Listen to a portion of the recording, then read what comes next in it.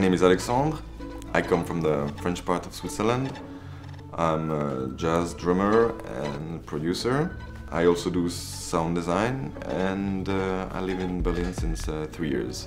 I find it interesting to work with the Deutsche uh, Symphony Orchestra because I like to work with um, organic sounds and classical texture are very um, interesting for me to have my own interpretation. The piece is actually uh, my interpretation of the chaos and it's divided into four parts.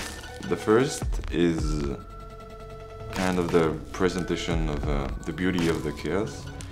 Then you have the second part, which something is growing from this chaos, but it's with this uh, floppy beat and unstructured texture.